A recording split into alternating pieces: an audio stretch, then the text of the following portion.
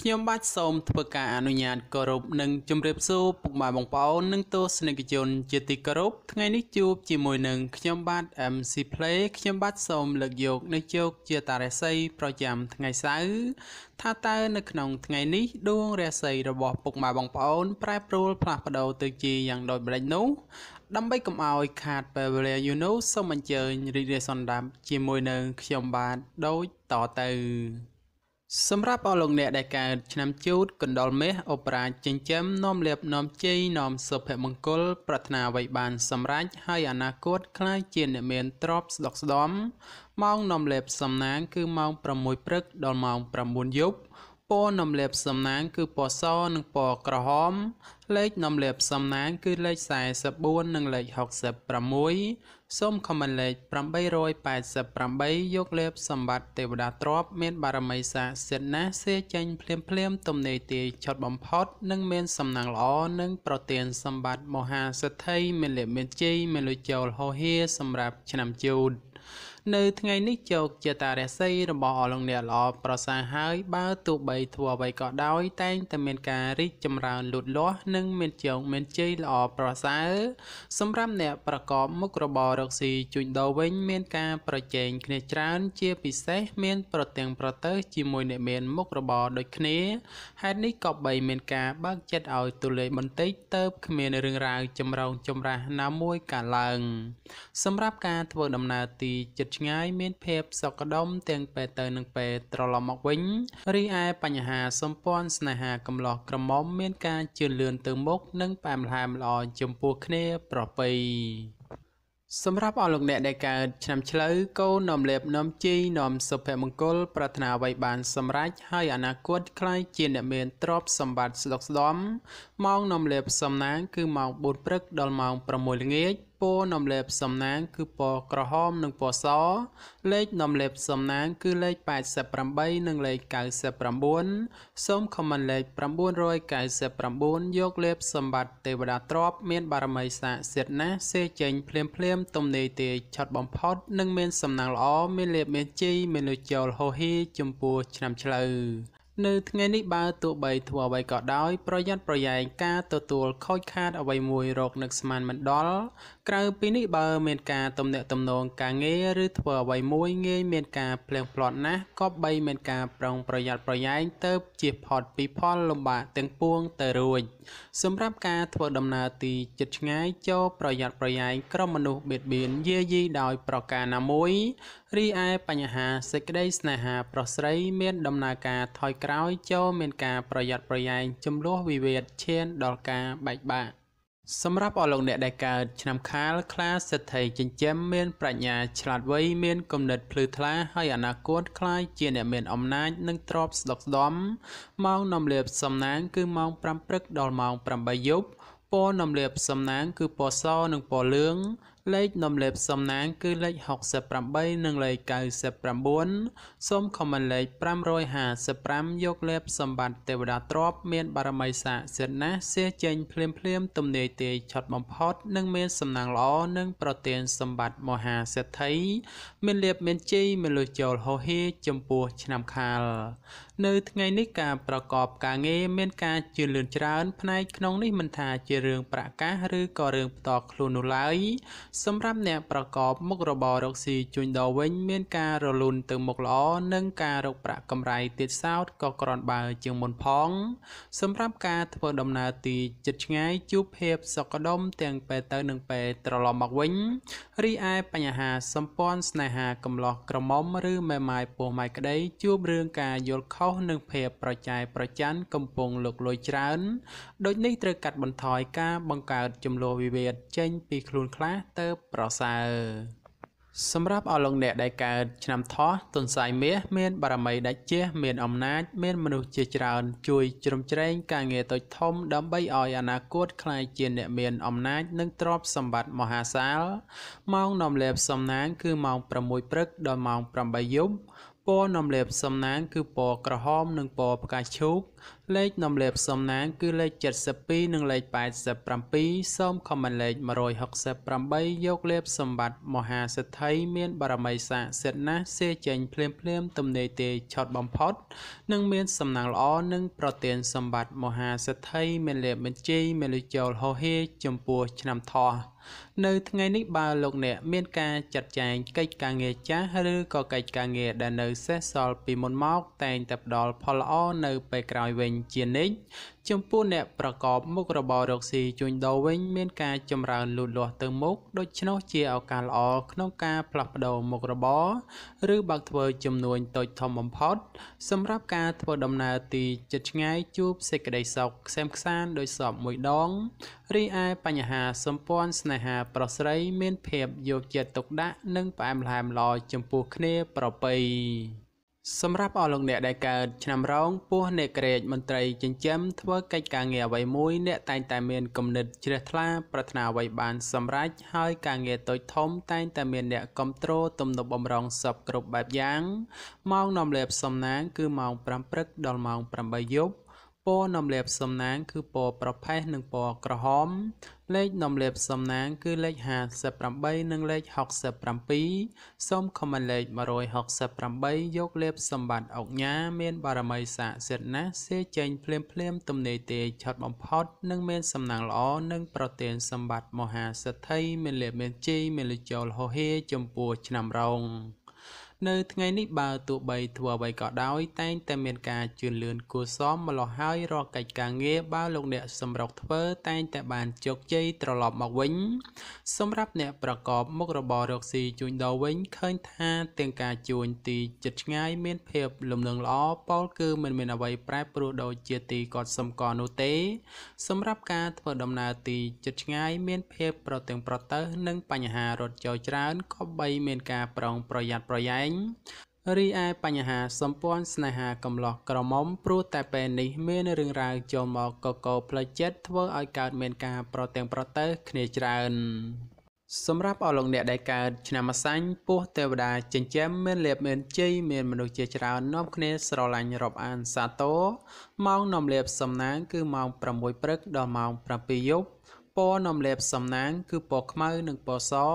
លេខនំលេបសំណាងគឺលេខ56និងលេខ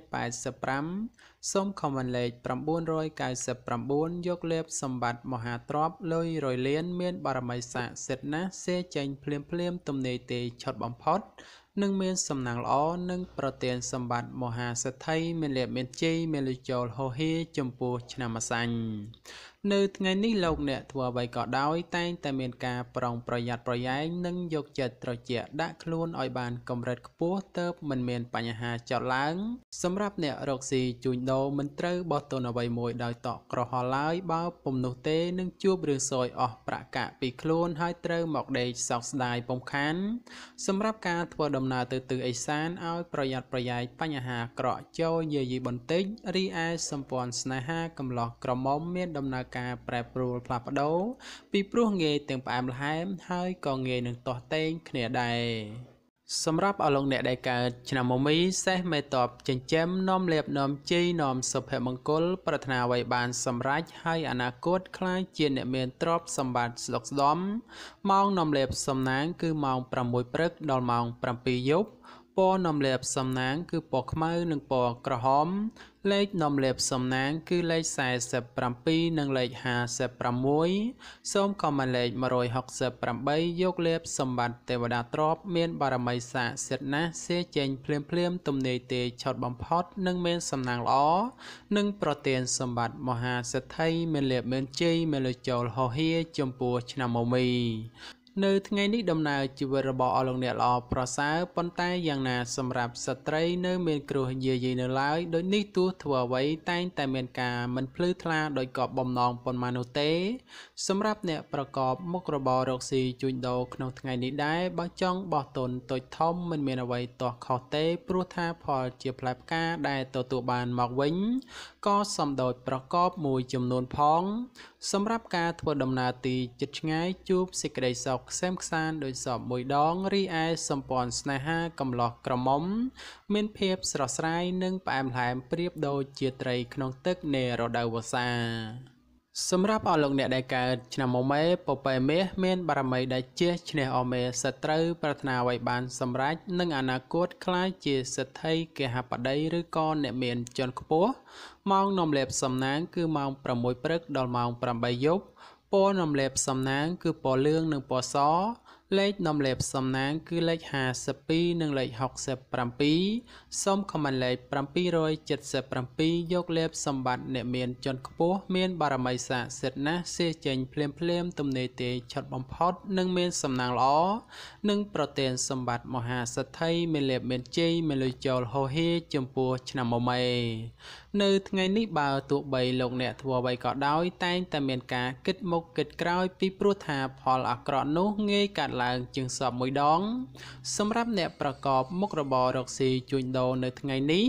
មុននឹងចង់ចោះទុនធ្វើអ្វីមួយត្រូវតែចេះគិតគូរឲ្យបានច្បាស់លាស់ជាមុនសិនមុននឹងអនុវត្តជាក្រោយទៅអាចទទួលបានផលល្អៗរីឯសម្ព័ន្ធស្នេហាកំឡោះក្រមុំមានដំណើរការប្រែប្រួលផ្លាស់ប្ដូរពីព្រោះងាយទាំងផ្អែមល្ហែមហើយក៏ងាយនឹងទាស់ទែងគ្នាដែរ សម្រាប់អលងអ្នកដែលកើតឆ្នាំវកស្វាមន្ត្រីចិញ្ចឹមនាំលាភនាំជ័យនាំសុភមង្គល ប្រាថ្នាអ្វីបានសម្រេចហើយអនាគតខ្លាចជាអ្នកមានទ្រព្យស្ដុកស្ដំ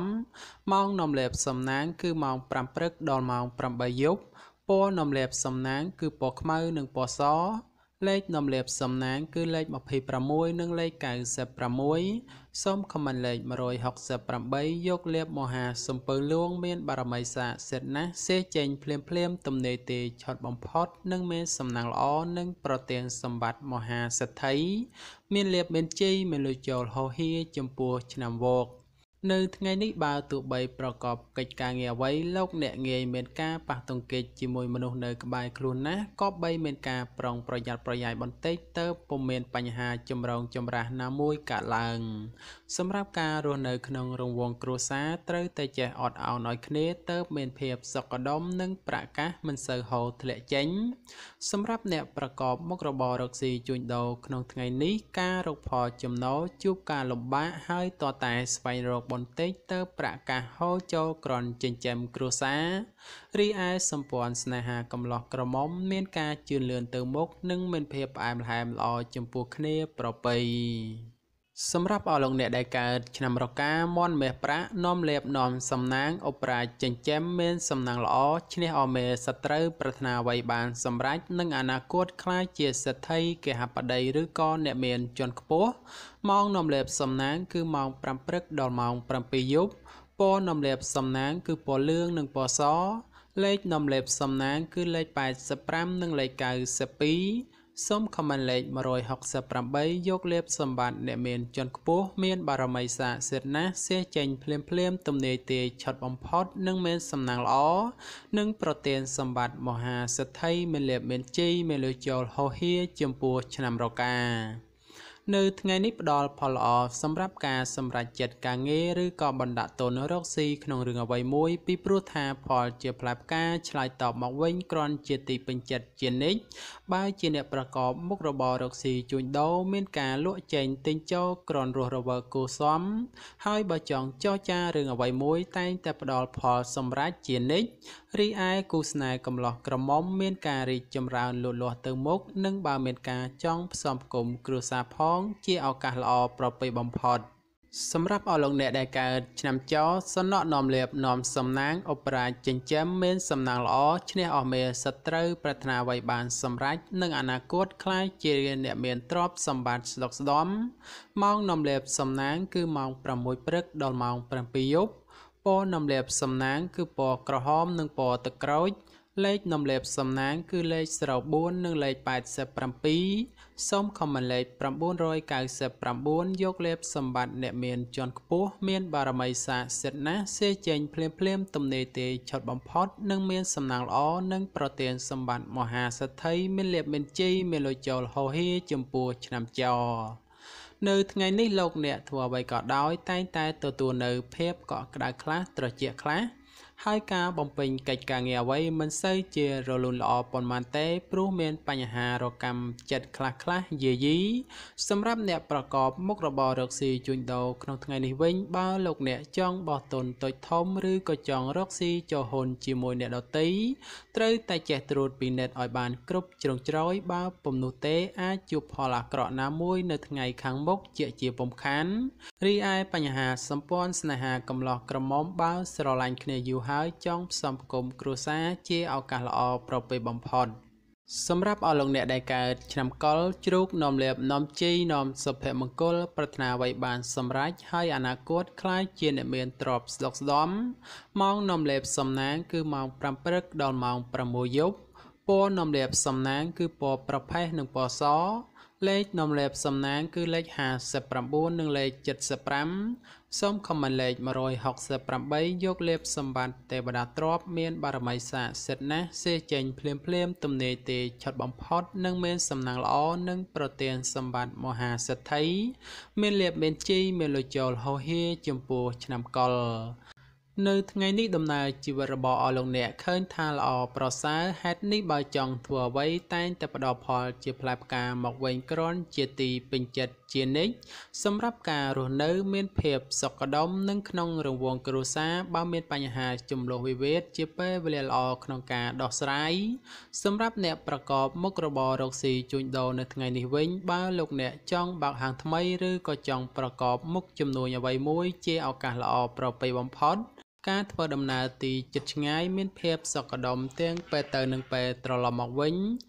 ឯបញ្ហាសម្ព័ន្ធស្នេហាកំឡោះក្រមុំបានស្គាល់ចិត្តស្គាល់ថ្លើមគ្នាយូរហើយជាឱកាសល្អក្នុងការផ្សំផ្គុំគ្រួសារបំផុត។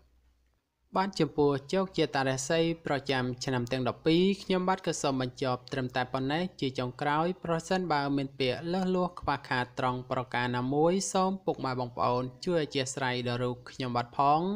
ហើយខ្ញុំបាទក៏សូមអរគុណនិងសូមជម្រាបលា